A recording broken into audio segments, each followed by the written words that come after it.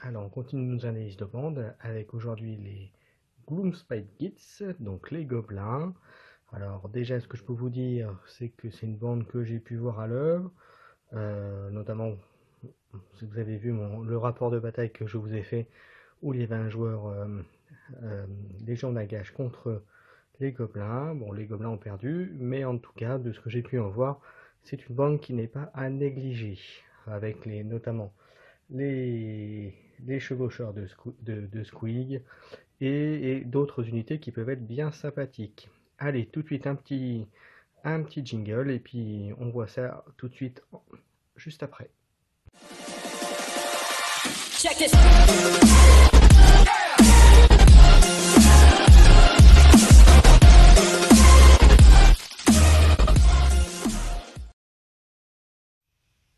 Voyons voir euh, ce qu'il retourne de ces gobelins. Alors pour les aptitudes, on voit que l'aptitude, la la générique, c'est une aptitude qui est utile lorsque vous êtes à, à deux contre une figurine, puisque ça donne un bonus quand il y a une figurine amie à côté. Le filet barbelé, ça peut être très fort, puisque une unité qui a cela, on verra après laquelle peut le faire dans les unités euh, gobelins. Euh, peut immobiliser un adversaire, ce qui peut être très fort. Et euh, voilà, après, après, le conseil que je peux donner, c'est faites-le sur l'unité qui a déjà agi. Parce que si vous la bloquez qu'elle est engagée en combat, euh, ben, ça n'empêche pas d'attaquer. Donc elle peut faire très mal. Ensuite, le triple boing boing boing, et ben, c'est une action qui peut être très très forte si elle est bien utilisée, puisque les gobelins, de ce que j'ai pu en voir, il vaut mieux le jouer un petit peu sur le surnombre. Euh, ensuite, euh, le triple planter les biens est également très, très fort si, encore une fois, bien utilisé, puisque ça rajoute, euh, ça rajoute des caractéristiques d'attaque, donc des attaques potentielles. Ensuite, la capsule triple va-t'en. Là, pour le coup, je suis pas super fan, je vous expliquerai pourquoi, puisque c'est utile avec une figurine, combinaison de deux figurines, mais qui, pour le coup, est trop situationnel. Et enfin, le quadruple coup en traître. Là, pour le coup, c'est très très fort, puisque ça, peut donner un mouvement bonus, une attaque bonus, et en plus de cela, euh, rajouter des dégâts. Donc, euh, tout, pour, euh, tout pour faire mal. Voilà, ça c'était pour les aptitudes. On va regarder maintenant les unités. Alors, je vais commencer par les gros, c'est-à-dire les chevaucheurs de Squig. On va commencer par celle-ci, qui peut être donc un leader. Donc 265 points, donc c'est assez cher. Par contre, 8 de mouvement, 5 d'armure, c'est plutôt, plutôt bien. 24 points de vie, c'est très bon. Maintenant, point leader, c'est peut-être le seul point faible. Mais bon, après, le mouvement, l'armure, euh, voilà, plus l'attaque qui peut taper à 2, avec AD, force 5, 2, 5.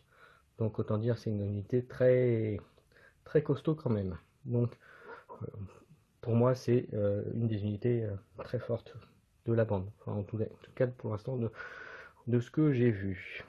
Ensuite, le deuxième porteur de squeak, c'est celui-ci.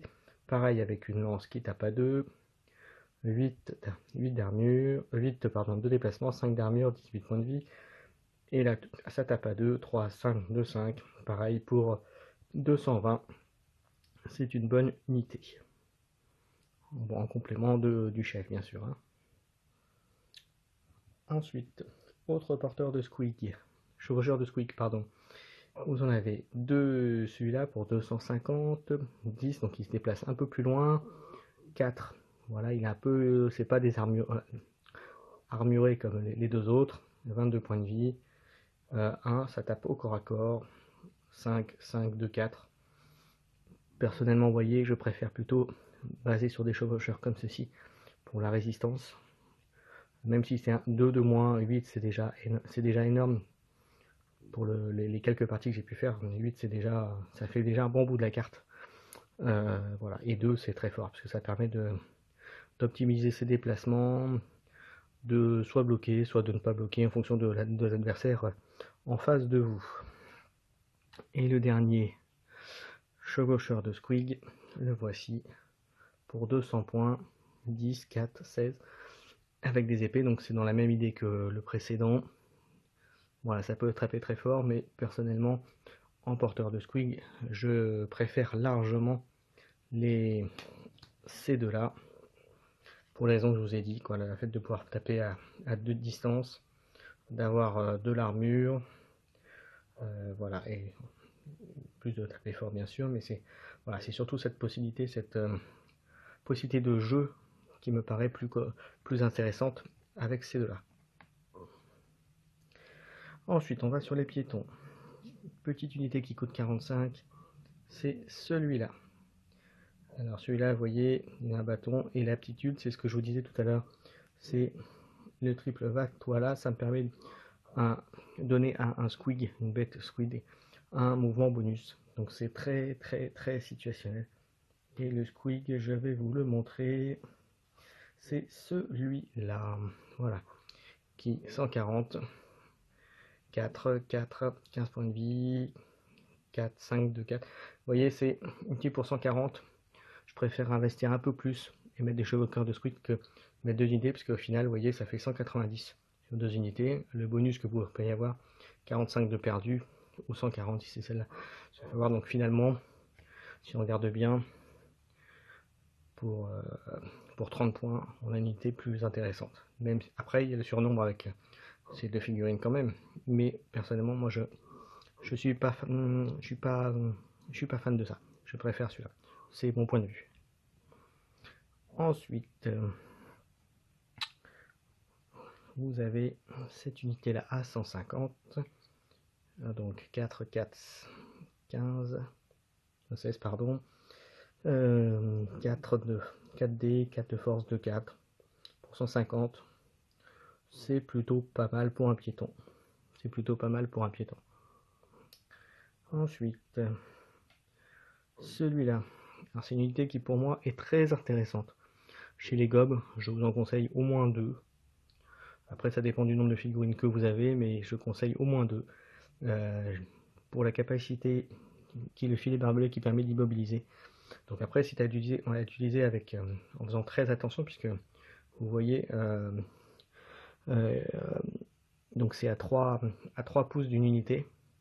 ça que 8 points de vie, 3 d'armure, mais d'un autre côté, vous faites ça à vos immunités, vous, vous envoyez un chasseur, un chauffeur de squig et boum, va avoir l'unité. Mais après.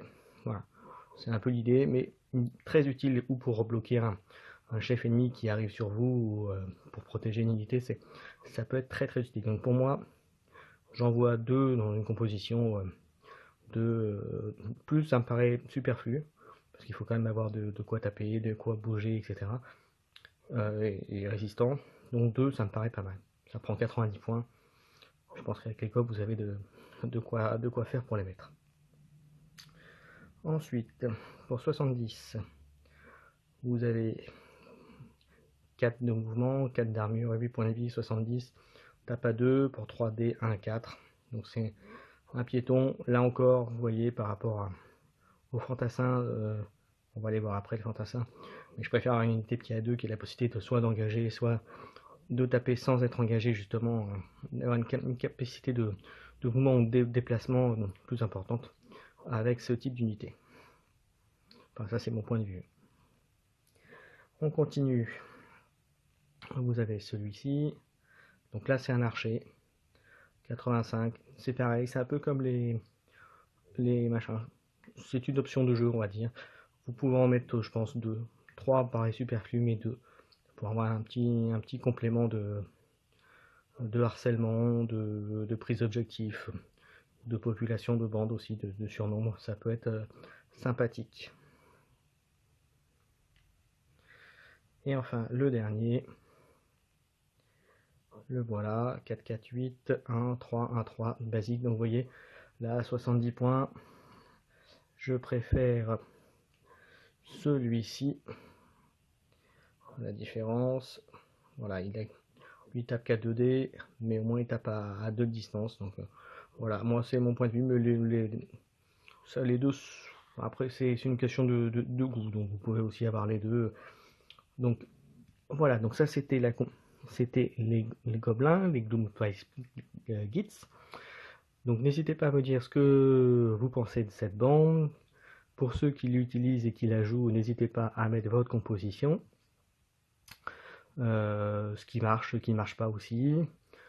Et, puis une dernière chose, j'espère que vous êtes comme moi en attente du, livre de Monstres et Mercenaires et La Chimère. Et je ne manquerai pas de faire une petite revue de tout cela dès que je les ai en main. Et déjà, je peux annoncer que La Chimère va être un sacré monstre. Si vous avez déjà eu accès aux stats et aux capacités de la bête, euh, je peux vous dire que il y, a, beaucoup de monde qui vont s'en prendre plein les gencives, pour rester poli. Voilà, et ben je vous dis à bientôt pour une prochaine vidéo. Si vous aimez le petit pouce levé, abonnez-vous si ce n'est pas le cas. N'hésitez pas à mettre des commentaires. À bientôt